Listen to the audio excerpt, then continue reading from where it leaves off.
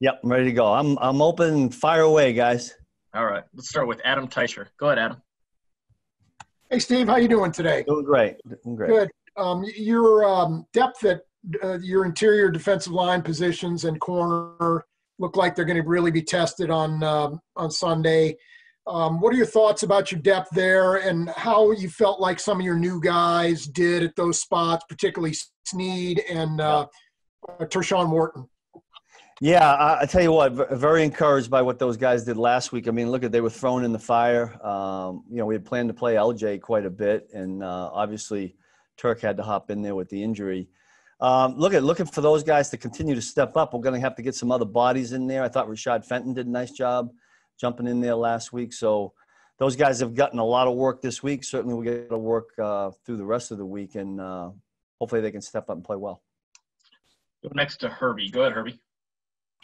Hey, Coach. Good morning. How are you? Great. Hey, um, obviously, when you prepare for, blah, when you prepared for the Chargers, the two games last year, you had to deal with Philip Rivers and Melvin Gordon. This time around, it looks a little different. What are you seeing after you saw their their tape against the Bengals, and what are some of the challenges against Tyrod Taylor?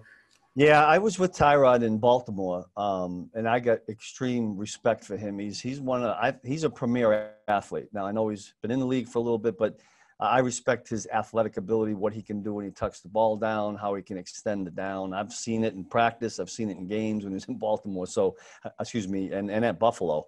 Um, got a lot of respect for him. I, what I saw last week was a was a team that came out in the second half and decided that they were going to win that football game by running the football, uh, and I thought they did it really, really well. Um, that was impressive to me. Uh, the way they won the game, the way they hung in there, and I, I got to listen. They've got weapons. We know that. Uh, I have respect for the quarterback because I've been around him. So I, I know that our guys feel this. It's going to be a heck of a challenge. It's early in the year, and we need to find a way to win a divisional game. Let's go next to Pete Sweeney. Go ahead, Pete. Good morning, Coach. Uh, I was curious, what gives you confidence in, in, this unit that if, if Charvarius is unable to go in, in this game, that you guys will, will, be all right there for as long as he, he needs to sit? Well, I mean, look, obviously, uh, Rashad and LJ, if they have to go out there and play corner, um, haven't had as many snaps as the guys we've had there before. Um, it's good that LJ's got a game under his belt and that Rashad got out there a little bit and played a little bit last year. I think everybody, the other uh, nine guys need to step up. Um, we need to help them here and there.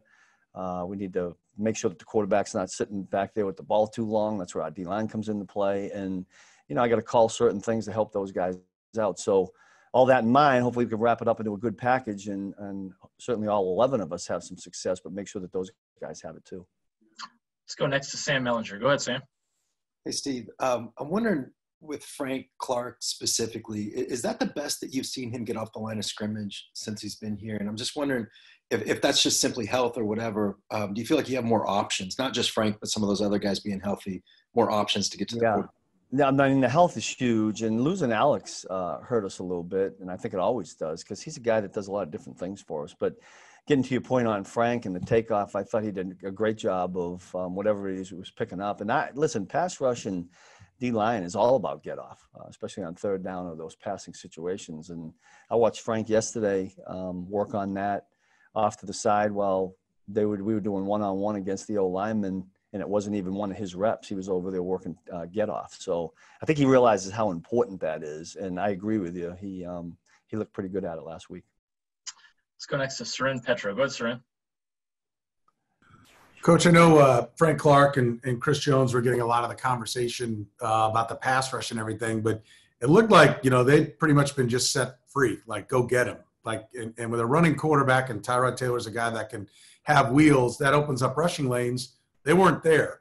Uh, can you can you explain why you were so effective? The, the other guys, right, around Chris Jones and, and Frank Clark that maybe did the, the not, not, so glorious, you know, sack yeah. uh, pass rush part that enables them to be able to maybe not have assignment sound stuff they've got to yep. worry about and just go hell bent for the quarterback. That, that's a really, really good point. I think the, a name that gets lost in the shuffle here is TK. Um, he's all over the place and helps us out tremendously. I thought one of the things the guys did last week in those passing situations were was that they were what we talk about relentless in their pass rush. I always tell them that pass rushers keep rushing the passer. There's so many times in the league, whether you're sending four, five, or whatever it is, that if they don't hit their first move, they tend to back off.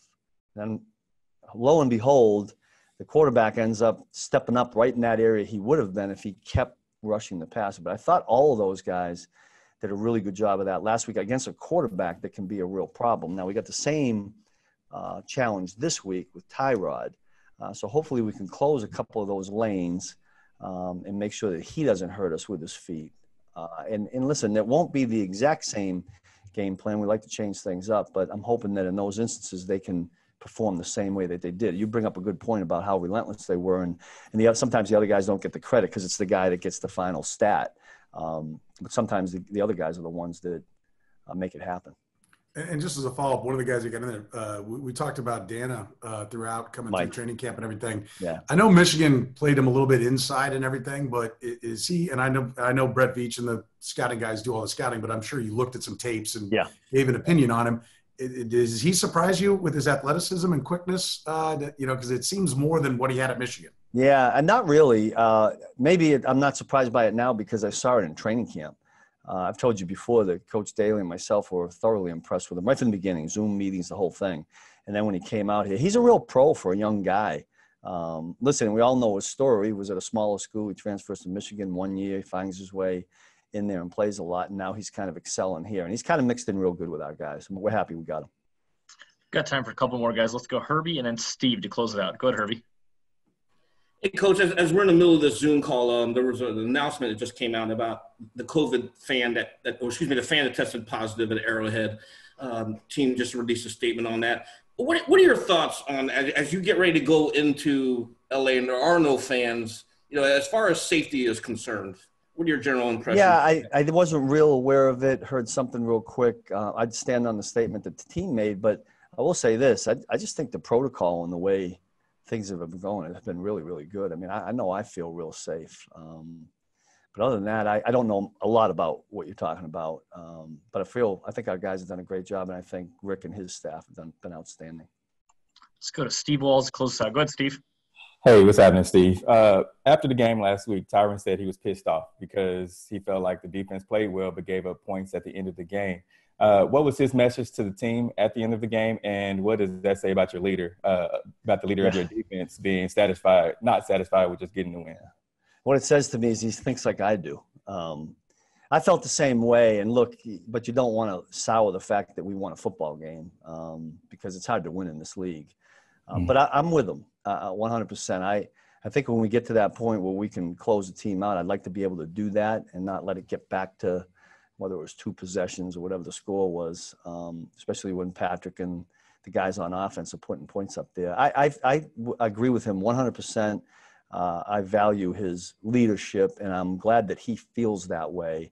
Uh, and I think most of the guys are the same, to be honest with you. Uh, but they'll follow his lead, and you know, hopefully, we can step it up. And I, mean, we all thought we played just okay last week defensively, to be honest with you. Um, I'm glad we won, and there was a point there where it was 31 to seven, so it looks really good. Uh, but we, we'd like to play better. Coach, we really appreciate your time today. Thanks. You got it. Thanks.